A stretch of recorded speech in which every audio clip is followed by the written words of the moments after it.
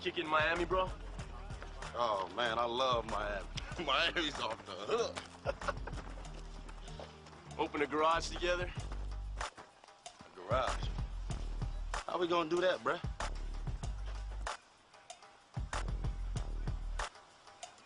Pockets ain't empty, cuz.